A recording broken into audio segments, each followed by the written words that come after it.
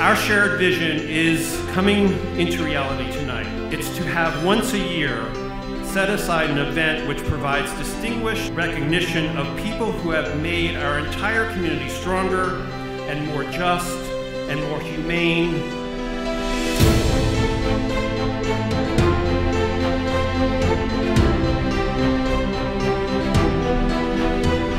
What sets these men and women apart the incredible impact they have had on so many. Together, the honorees have moved us with their words, they have inspired us with their actions, they've enriched our lives, and they've changed our community for the better.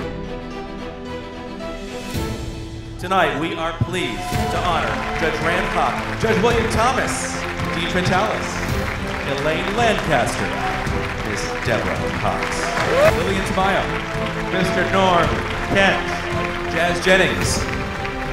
For those of you who don't know me, I'm a typical 14-year-old girl who just happens to be transgender. We've listened to, we've been moved by, we've been entertained. Joey Arias.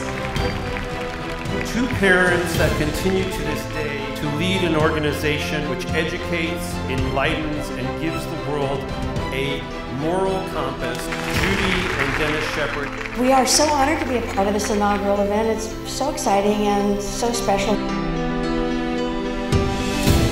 Really do believe that this inaugural event is historic, which is why the caliber of our awardees are so high.